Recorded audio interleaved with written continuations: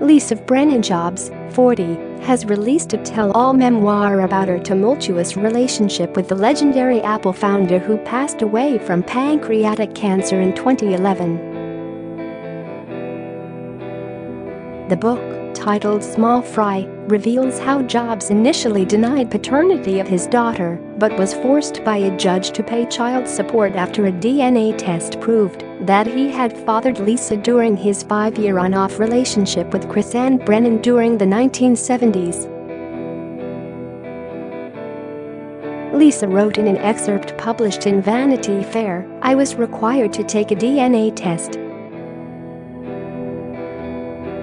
The tests were new then, and when the results came back, they gave the odds that we were related as the highest the instruments could measure at the time, 94. 4%. The court required my father to cover welfare back payments, child support payments of $385 per month, which he increased to $500, and medical insurance until I was 18. Lisa, born in 1977, says she was forced to move home over 13 times before age 7 as her mother struggled to pay the bills through a series of cleaning positions, while Jobs, then already a multi-millionaire, refused to help. For him, I was a blot on a spectacular ascent, she writes, as our story did not fit with the narrative of greatness and virtue he might have wanted for himself. My existence ruined his streak. Lisa reveals how she regularly visited her father at his Tudor-style home in Palo Alto in the final 12 months of his life, but said she was made to feel like a nuisance during her trips. I'd given up on the possibility of a grand reconciliation, the kind in the movies, but I kept coming anyway, she admitted.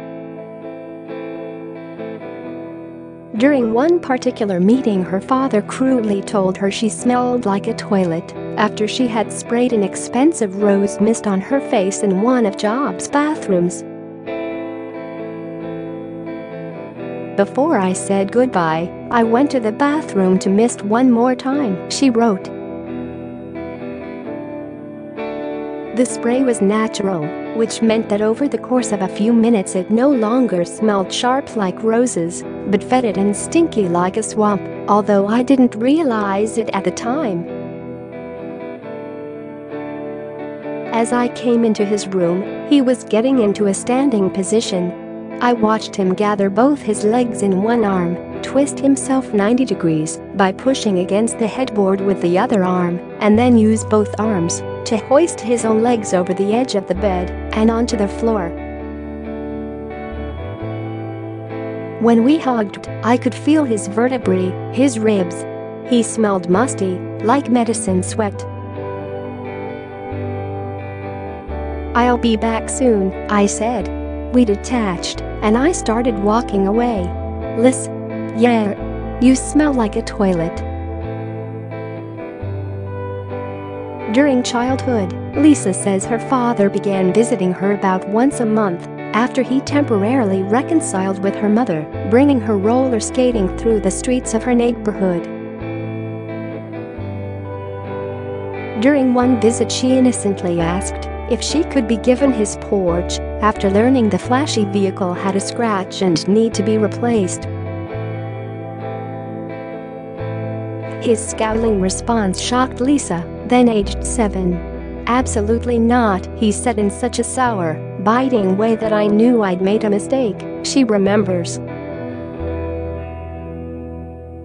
I understood that perhaps it wasn't true, the myth of a scratch, maybe he didn't buy new ones. By that time I knew he was not generous with money, or food, or words.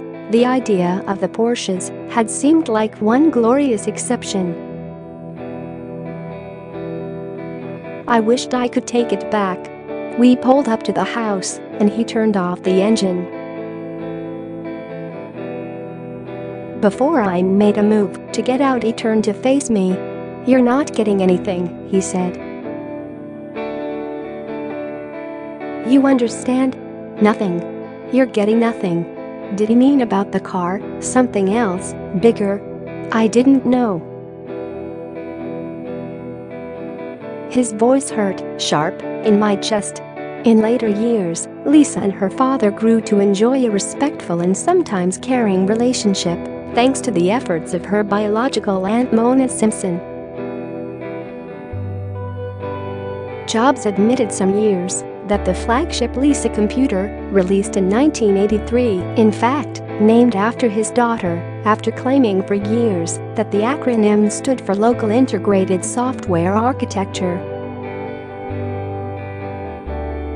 A movie about Jobs' relationship with his former partner Chrisann and daughter Lisa was examined in a Danny Boyle-directed biopic starring Michael Fassbender and Kate Winslet, which was released in 2015.